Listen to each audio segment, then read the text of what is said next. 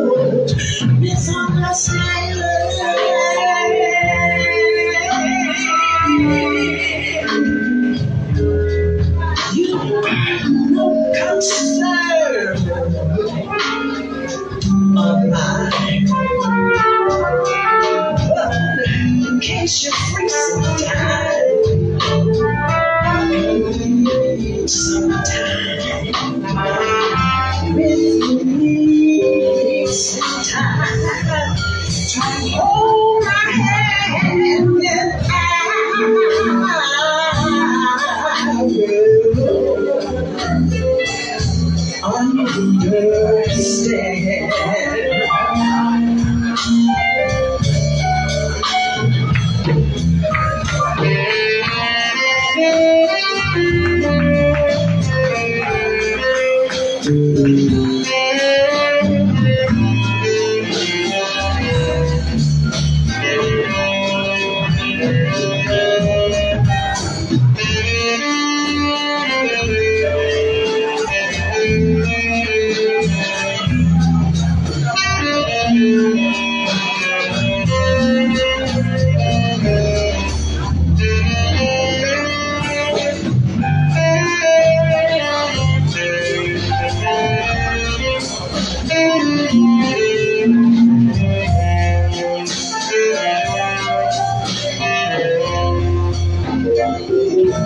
just stealing time.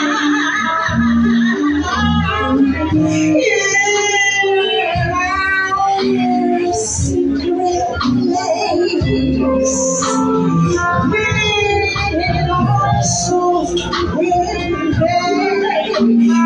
To